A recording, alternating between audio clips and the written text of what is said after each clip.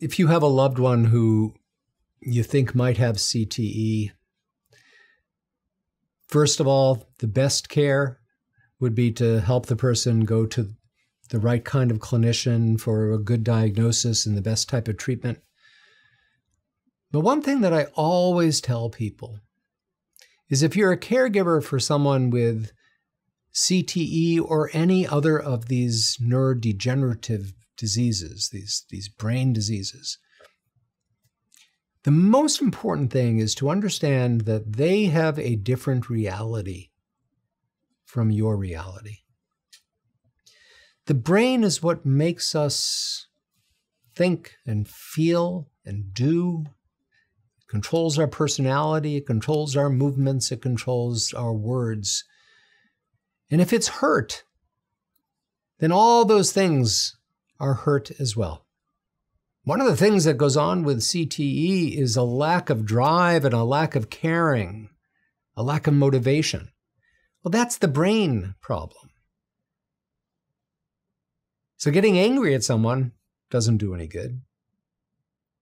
And if someone makes a mistake or says something in public that's perhaps not the right thing to say,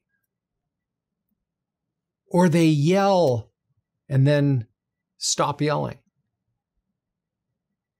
getting angry at them or thinking that they're in control of what they're doing doesn't do anyone any good.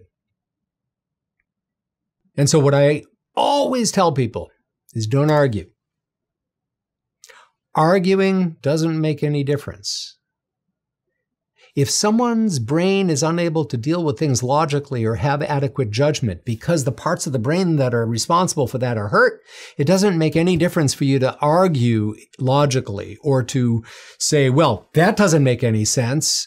Or you remember we talked about this before. Well, those things, they're not there. Or what if someone's partner is incredibly sad and tearful?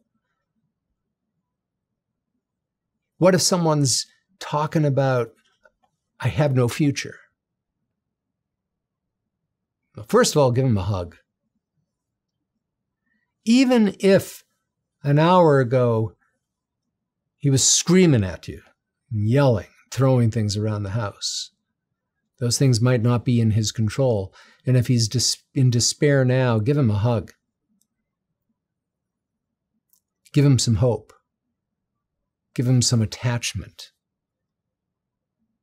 Make sure that he knows that there is the next day. And give him the tools to get to that next day.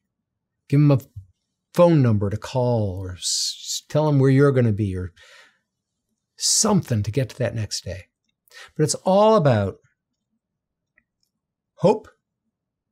It's all about keeping the arguing to the bare minimum, no matter how frustrating it might be. It doesn't make any sense to argue. The arguing just makes the person feel badly and gets them all riled up. And so instead of arguing, smiling, because your own smile might be contagious.